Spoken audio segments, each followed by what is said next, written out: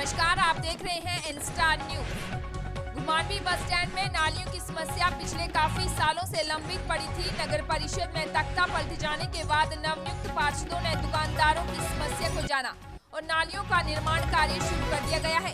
नगर परिषद की अध्यक्षा रीता सहगल के नेतृत्व में सभी नवनियुक्त पार्षदों सहित खुद मौके का निरीक्षण किया गया और कार्य को और गति प्रदान करने के आदेश दिए गए हैं, जिससे दुकानदारों को दुर्गंध ऐसी निजात मिल सके। दुकानदारों ने बताया कि इससे पहले इन नालियों की समस्या को लेकर नगर परिषद के अधिकारियों एवं चुनिंदा पार्षदों को अवगत करवाया गया था, पर उनके लारे लपे के कारण समस्या का समाधान नहीं हो पाया था।